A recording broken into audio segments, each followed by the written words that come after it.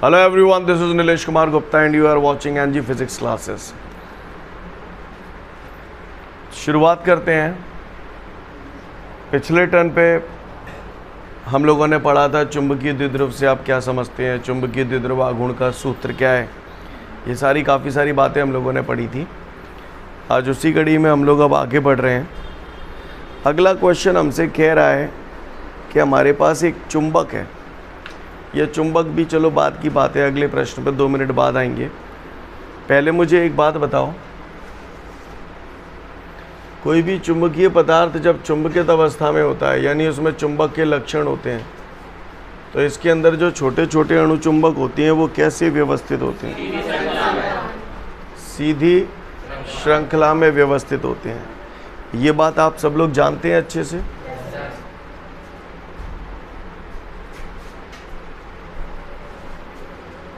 ऐसे व्यवस्थित होते हैं?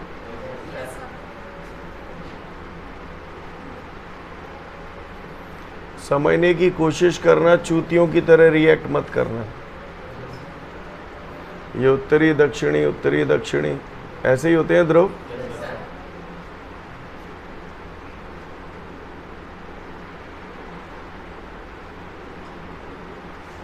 यही कहानी है? ये सब एक दूसरे से बंधे हुए हैं। ये सब एक दूसरे से बंधे हुए हैं, ये भी। बोलो भैया। ये चार रह गए अकेले। तो इन्होंने मिलकर यहाँ दक्षिणी ध्रुव का निर्माण कर दिया।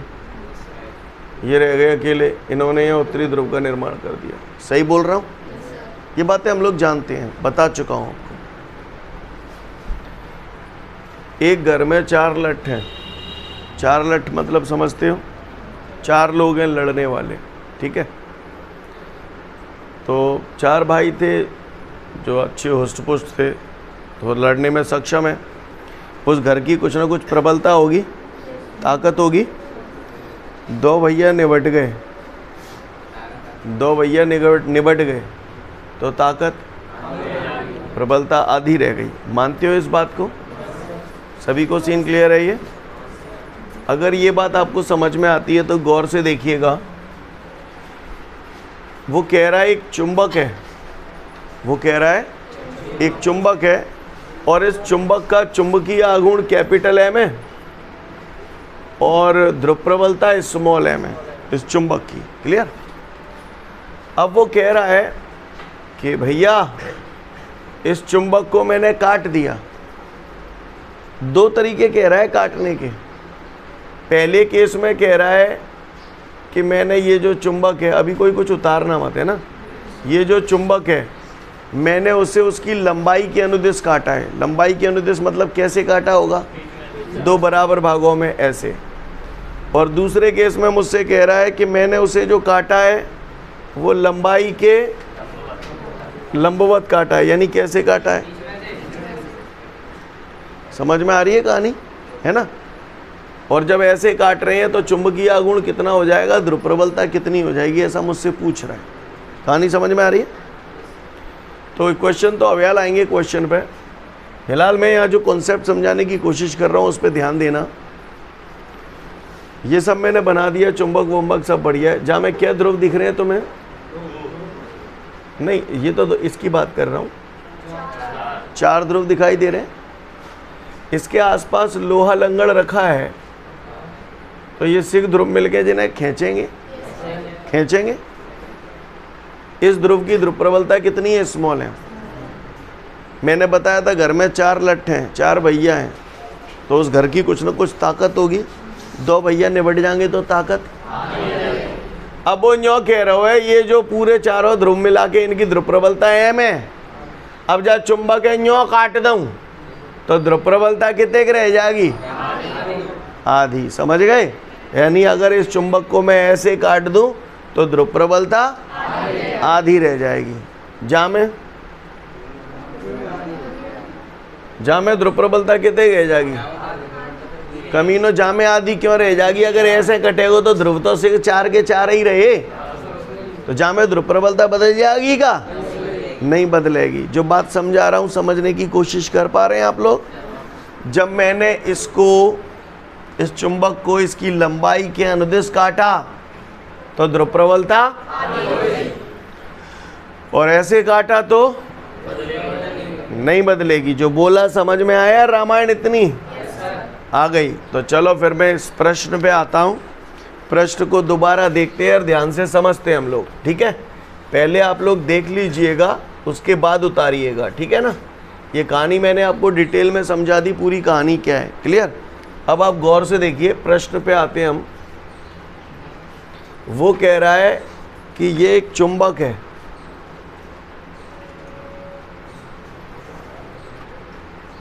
ये मैंने बढ़िया चुंबक बना दिया और उसने दे रखा है। ये कह रहा है कि ये जो चुंबक है ना, उसकी ध्रुव प्रबलता है स्मॉल एम और इसका चुंबकीय आगुण है कैपिटल एम कहानी समझ में आ रही है? चुंबक की लंबाई, भंबाई उसने कुछ नहीं दी। तो मैं मानता हूँ कि चुंबक की लंबाई हम लोग जो मानते हैं, वो कितनी मानते हैं? ट्वेल्व मानते हैं? अब उसने यहाँ पर दो प्रश्न दिए हैं।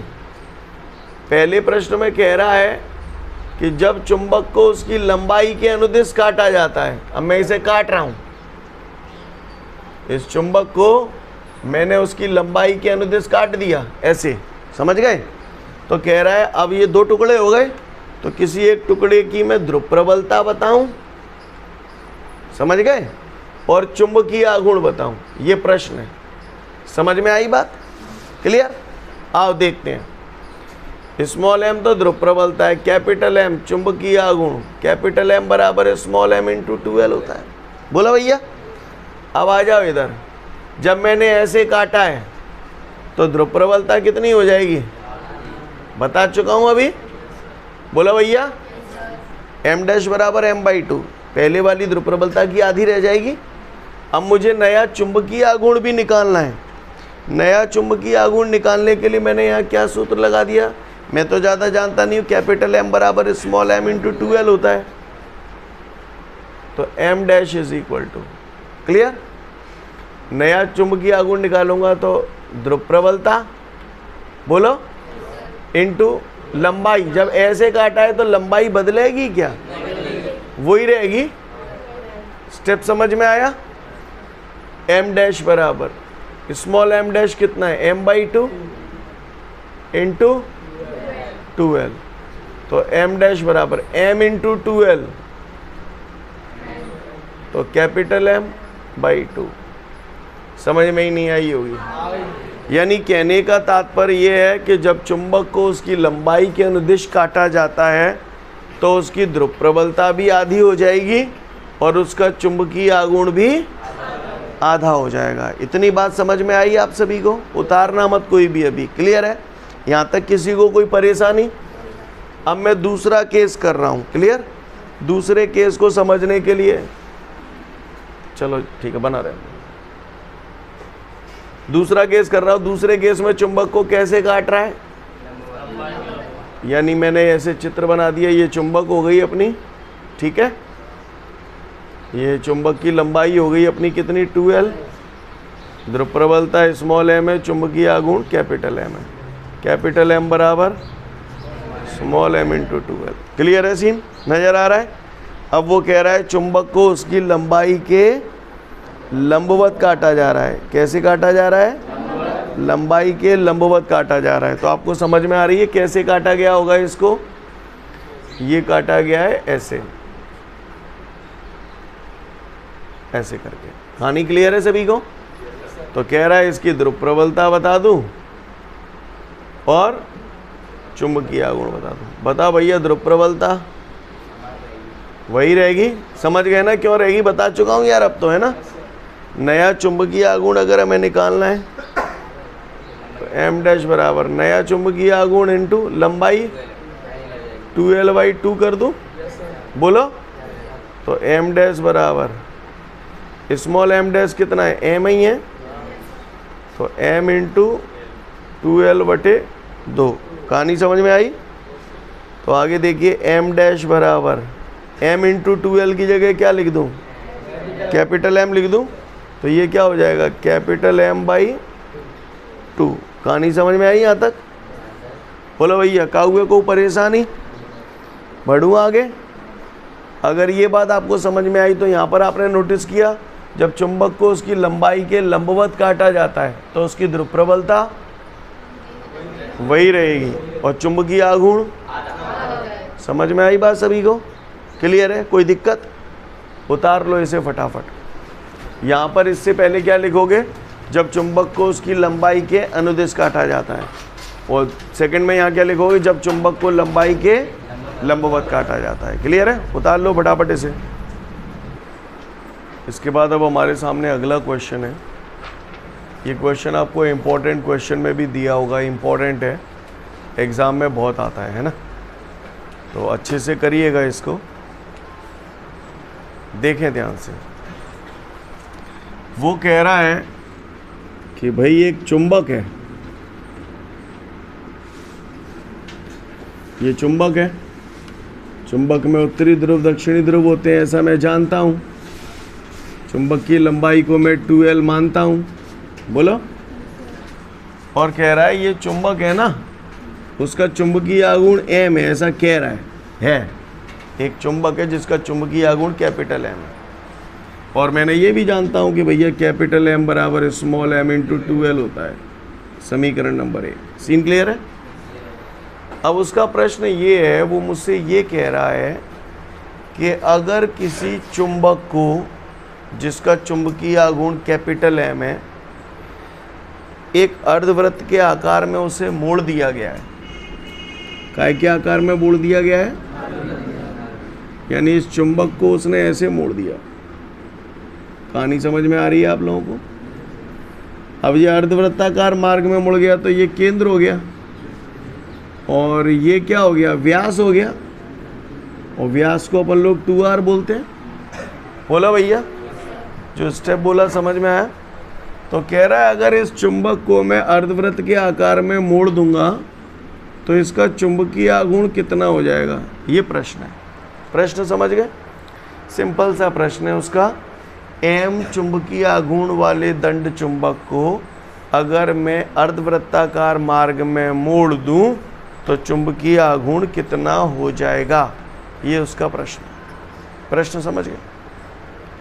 तो चलिए देखते बेटा, नीचे मुंडी करवे थे समझ में नहीं आवेगो यहाँ देखवे थे समझ में आवेगो का? नाम है? हाँ। डंडौतिया जी, ध्यान दोगे तो ही समझ में आओ। वो जड़ी बूटी ना ने जो घोट के पिया देंगे तुम्हें। तो चुंबकीय आघूर्ण कैपिटल एम बराबर small M into two L होता है। तो भैया, जब ऐसे मोड़ा है तो ध्रुव तो वहीं के वहीं है स्मॉल एम ही रहेंगे। इंटू टू एल दोनों ध्रुवों के बीच की दूरी अब कितनी हो जाएगी? टू आर क्या ये बात समझ में आई? सीन क्लियर है? अच्छी बात है। अब आप एक बात बताओ। ये पहले कितना था? ट्वेल्व था। जब मैंने इसे घुमा के ये कर दिया तो ये क्या है? परिधि तो टू पाई आर पूरी होती है, ये उसकी आधी है। तो इसे ऐसे लिख सकता हूँ क्या कि ये जो ट्वेल्व है, वो बराबर हो गया two pi R by two. Step समझ में आया कि नहीं आया? आ गया। टू से टू काट दूँ? बोलो भैया। पाई को नीचे ले आऊँगा। आर का मान आ गया ट्वेल्व अपॉन पाई बोलो भैया।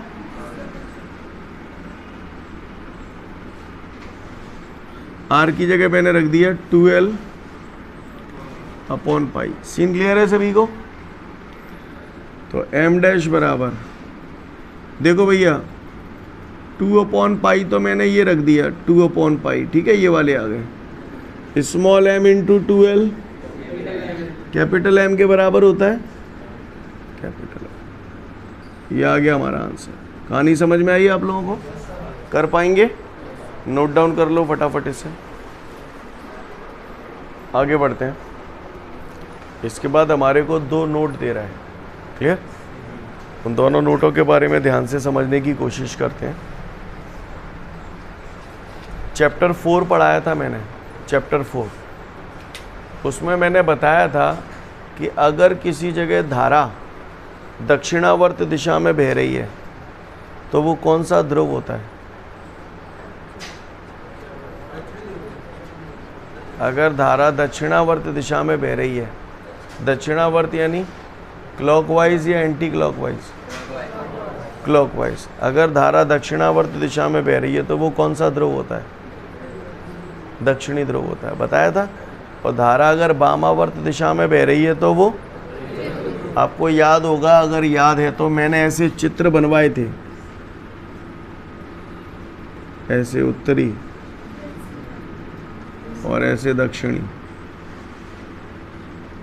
याद है? ये जो तीर के निशान है, ये तीर का निशान ये कह रहा है कि धारा ऐसे बह रही है यूँ करके। समझ गए ना मेरी बात को? यानी धारा ऐसे बह रही है यूँ करके। तो ये क्लॉकवाइज बह रही है ना, दक्षिणावर्त दिशा में बह रही है तो वो दक्षिणी ध्रुव होगा। ये विपरीत दिशा में बह रही है वामावर्त दिशा में तो ये उत्तरी ध्रुव। बताया था? बोलो भैया। एक धारावाही लूप या धारावाही परिनलिका। मैंने आपको बताया था चैप्टर फोर में कि धारावाही परिनलिका या धारावाही लूप काय की तरह व्यवहार करता है? चुंबक की तरह व्यवहार करता है। इसलिए हम लोग धारावाही लूप या धारावाही परिनलिका को चुंबकीय द्विध्रुव भी कह सकते हैं। समझ में आ रही है बात? क्लियर है? कोई धारावाही परिनलिका को चुंबक कहा जा सकता है, या चुंबकीय द्विध्रुव कहा जा सकता है। बात समझ में आ रही है? वही बात इस नोट में लिखी हुई है। क्लियर? इसके साथ साथ एक नोट और दिया हुआ है। उसमें ये दिया हुआ है, देखो भाई, हमने ये बात पढ़ी थी कि स्वतंत्रता पूर्वक लटका हुआ चुंबक सदैव उत्तर दक्षिण दिशा में ठहरता है। ठीक है? आप चुंबक को घुमा के इधर उधर भी कर दोगे तो भी वो घूम फिर के उत्तर दक्षिण दिशा में आ जाएगा। तो कहीं ना कहीं कोई ना कोई ताकत है जो उसे खींच रही है अपनी तरफ़, और वो है पृथ्वी का चुंबकीय क्षेत्र। क्या? हाँ पृथ्वी का भी अपना एक चुंबकीय क्षेत्र होता है, जिसकी वजह से चुंबक कोई भी चुंबक जो आप स्वतंत्रता पूर्वक लटकाते हैं, वो सदैव उत्तर दक्षिण दिशा में ठहरती है। और पृथ्वी के चुंबकीय क्षेत्र की जो दिशा होती है वो भौगोलिक दक्षिणी ध्रुव से भौगोलिक उत्तरी ध्रुव की ओर होती है। जैसे ये दक्षिणी ध्रुव है और ये उत्तरी ध्रुव है तो पृथ्वी के चुंबकीय क्षेत्र की दिशा भौगोलिक दक्षिणी ध्रुव से भौगोलिक उत्तरी ध्रुव की ओर होती है। याद रखना है ओटी वगैरह में आ सकता है आपको। क्लियर अगले नोट में यही लिखा हुआ है, एक बार पढ़ लें दोनों नोटों को। इसके बाद अब हमारे सामने अगला प्रश्न है, एक लघु दंड चुंबक के कारण क्लियर क्या? एक लघु दंड चुंबक के कारण अच्छी स्थिति में स्थित किसी बिंदु पर चुंबकीय क्षेत्र की तीव्रता की गणना हेतु व्यंजक स्थापित कीजिए। काय की गणना हेतु व्यंजक स्थापित कीजिए? चुंबकीय क्षेत्र की तीव्रता की गणना हेतु व्यंजक स्थापित कीजिए। तो गौर से देखिएगा सब लोग। ये भैया मैंने चुंबक बना दिया। बोलो भैया। ये चुंबक का अक्ष है। ये चुंबक का मध्य बिंदु है ओ ये दूरी 2l है। और ये 2l है तो ये l और ये l बोलो भैया, यहाँ तक बात समझ में आई? चूँकि ये जो रेखा है, चुंबक का अक्ष कहलाती है, और अच्छी स्थिति में यहाँ पर कोई बिंदु स्थित है। और कह रहा है, इस बिंदु पर चुंबकीय क्षेत्र की तीव्रता की गणना हेतु व्यंजक स्थापित कीजिए। ऑनलाइन वालों बोर्ड पे जो लिखा है, प्रॉपर दिखाई दे रहा है आपको? चलिए। तो वो कह रहा है, ये जो एक दंड चुंबक है, क्लियर? लघु दंड चुंबक के कारण अच्छी स्थिति में स्थित किसी बिंदु पर चुंबकीय क्षेत्र की तीव्रता की गणना हेतु व्यंजक स्थापित कीजिए। मैंने मान लिया इस बिंदु P की चुंबक के केंद्र O से जो दूरी है स्मॉल आर ठीक है? अब आप बताओ, इस बिंदु P पर चुंबकीय क्षेत्र पैदा होने के लिए जिम्मेदार कौन? हाँ ध्रुवों की वजह से चुंबकीय क्षेत्र पैदा होता है तो जहाँ में दो ध्रुव हैं। एक उत्तरी ध्रुव के कारण और एक तो सबसे पहले मैंने यहाँ लिख दिया एन ध्रुव। एन यानी उत्तरी ध्रुव हो गया। उत्तरी ध्रुव के कारण बिंदु पी पर चुंबकीय क्षेत्र की तीव्रता। क्लियर है भैया? बताओ भैया, उत्तरी ध्रुव के कारण जहाँ बिंदु P पे दिशा कितनी की लंग होगी? जालंग होगी? समझ गए ना जालंग क्यों होगी? तो इस चुंबकीय क्षेत्र को मैंने नाम दे दिया बी वन तो भैया, मैंने पढ़ा तो एक अकेले ध्रुव के कारण किसी बिंदु पर चुंबकीय क्षेत्र की तीव्रता का सूत्र। Mu zero upon four pi M M इस ध्रुव की ध्रुव प्रबलता हो गई अपॉन आर स्क्वायर इसके कारण इस बिंदु पे निकाल लें तो यहाँ से यहाँ तक की दूरी कितनी है? ये आर है और यहाँ से यहाँ तक की एल है। आर प्लस एल का होल स्क्वायर स्टेप समझ में आया भैया कि नहीं आया? आ रही है सबको समझ में? दिशा ऐसे आ रही है या ऐसे आ रही है? ऐसे आ रही है है ना? यानी ऐसे जा रही है। एन से पी की तरफ़ जा रही है तो ऐसे लिख दूँ एन पी वैक्टर समीकरण नंबर एक। बोलो भैया, अगर आप एग्ज़ाम में ये नहीं भी बना पाए तो कोई दिक्कत वाली बात नहीं है ऐसी, पर बना दें तो ज़्यादा अच्छा है। क्लियर ये तो उत्तरी ध्रुव के कारण हो गया। अब ऐसे ही तो एस ध्रुव के कारण, पूरी रामायण नहीं लिख रहा हूँ मैं, समझ गए ना? एस ध्रुव के कारण बिंदु पी पर चुंबकीय क्षेत्र की तीव्रता। बताओ भैया जा के कारण जा बिंदु पर दिशा कितनी लंग होगी? जालंग होगी। इसको मैंने नाम दे दिया बी टू ये बी वन है तो ये बी टू है ना? फिर वही सूत्र। बी टू बराबर म्यू ज़ीरो बटे चार pi M upon R square तो इसके कारण इस बिंदु पे निकालना है। तो मुझे यही दूरी तो चाहिए। तो मैंने क्या किया? ये जो आर है पूरी, इस आर में से ये एल माइनस कर दिया। तो यही तो बचेगी। तो क्या लिख दूँ मैं यहाँ पर? आर माइनस एल का होल स्क्वायर। क्यों लिखा समझ में आई बात? बोलो भैया। अच्छी बात। इसकी दिशा कैसे आ रही है? बी टू की ऐसे आ रही है।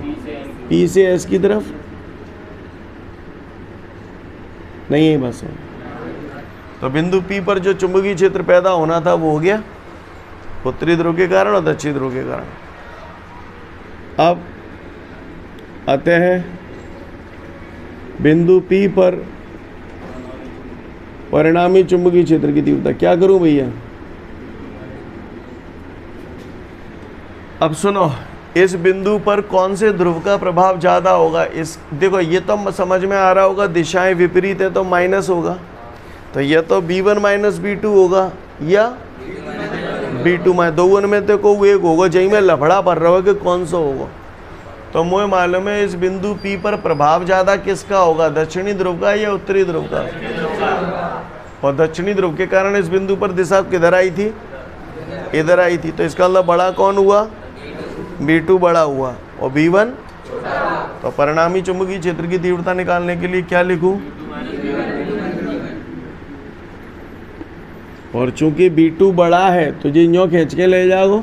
तो दिशा पी से एस की तरफ़ होगी परिणामी की। बोला भैया। तो बस अब कचू बचो ना ने अब तो मैथमेटिकल कैलकुलेशन करनी है। बी टू कितना है अपने पास? ज़ीरो पॉइंट फोर पाई हाँ। बी वन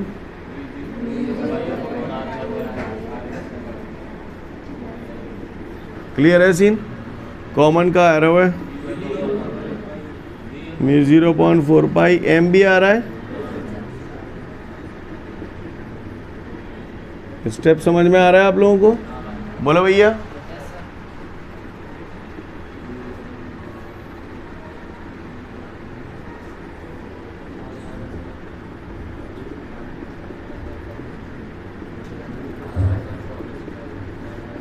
जिन्हें समझावे की ज़रूरत है मोए, चलूँ आगे? आगे बढ़ दो हैं? जिन्हें समझावे की ज़रूरत है, ठीक है। आगे बढ़ता हूँ। बी बराबर म्यू ज़ीरो बटे चार पाई एम। अब आप गौर से देखें। ये स्क्वायर और ये स्क्वायर तो मैं इसे होल स्क्वायर करके लिख दूँ। R minus L, R plus L का होल स्क्वायर। स्टेप समझ में आया भैया? बोलो। ए प्लस बी का होल स्क्वायर क्या होता है? A square plus B square plus two A B scene clear है? माइनस ए माइनस बी का whole square A square plus B square minus two A B step समझ में आया भैया सभी को?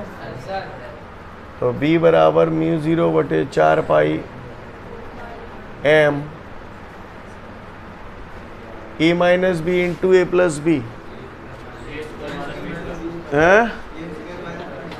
A square A square minus B square और इसका होल स्क्वायर जी आर स्क्वायर प्लस किए माइनस को अंदर मल्टीप्लाई है जाओ गुणा है जाओ तो आर स्क्वायर थे आर स्क्वायर कट जाएँगे। एल स्क्वायर थे क्यों कट रहे हैं, समझ में आ रही है बात? माइनस माइनस तो प्लस के टू एल आर और प्लस के टू एल आर प्लस के four L R L R तो मैंने जी लिख दी फोर को स्टेप समझ में आ गया? तो बी बराबर तिहाई है गई म्यू ज़ीरो बटे चार पाई, ठीक है? Small M into two L capital M clear small M into two L की जगह कैपिटल एम आएगी बोलो भैया, सूत्र पढ़ो है कि ना पढ़ो? बच्चों का है टू आर बचेगा बचेगा R square minus L square का कहानी समझ में आई यहाँ तक? आगे बढ़ते हैं। यदि आर बड़ा है बड़ा है एल आर बहुत बड़ा है एल से इसका मतलब समझते हो? ये देखिए आर बहुत बड़ा है एल से। आर यही तो है। यहाँ से लेके यहाँ तक की दूरी। अब कह रहा है आर बहुत बड़ा है, यानी बिंदु पी जो है वो बहुत अधिक दूरी पर है। है ना? मतलब बहुत अधिक दूरी पर है। और उसकी तुलना में ये जो एल है वो बहुत बहुत छोटा है तो ऐसी स्थिति में चुंबक एक लघु चुंबक हो गया, एक बड़ा चुंबक हो गया। लघु चुंबक हो समझ में आई बात?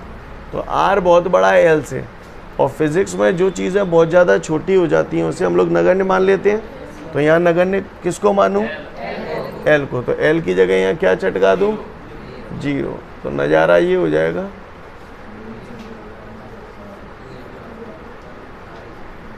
ये तो ख़त्म हो गई आर स्क्वायर का स्क्वायर बचेगा। आर स्क्वायर का स्क्वायर? आर से आर की पावर फोर कैंसिल करूँगा तो क्या आ जाएगा? Mu zero upon four pi two M upon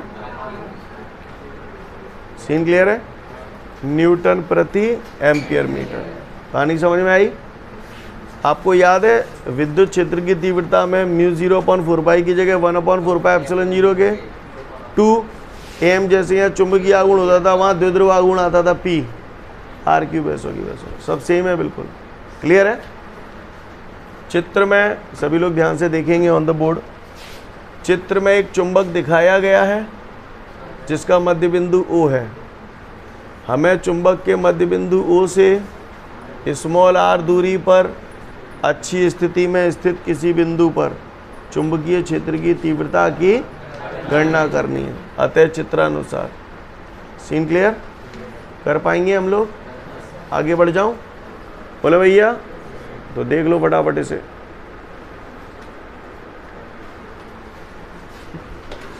देखो आप का हो। आज के लिए पर्याप्त कल फिर मिलते हैं। Thank you everyone have a great day to all of you guys आज के लिए पर्याप्त कल फिर मिलते हैं। Thank you everyone